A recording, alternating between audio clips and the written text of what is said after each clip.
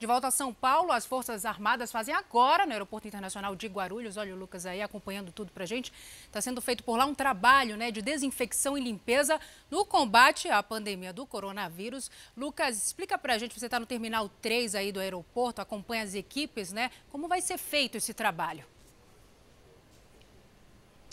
Um ótimo dia para você, para quem acompanha o Fala Brasil, uma verdadeira operação de guerra contra o coronavírus. A gente acompanha tudo ao vivo, o trabalho dos militares das Forças Armadas. São pelo menos 60 desses militares que estão fazendo esse trabalho de desinfecção nas áreas comuns aqui do Aeroporto Internacional de Guarulhos. Você vai observando que eles estão usando aí uma solução de hipoclorito de sódio e eles vão passando aqui no chão, vão usando também álcool líquido 70, vão colocando ali, vão passando em superfícies, nos totens, corrimãos, escadas, eh, bancos, também fazem a, a higienização dos guichês. Um trabalho extremamente importante, sobretudo agora com a reabertura das fronteiras aéreas para os turistas. Então, agora a expectativa é de que aos poucos a movimentação de passageiros vá aumentando no aeroporto. E esse é um trabalho importante não só para os passageiros, mas também para os próprios funcionários. Uma ação que deve durar pelo menos duas horas eles estão espalhados, vários deles aqui pelo aeroporto,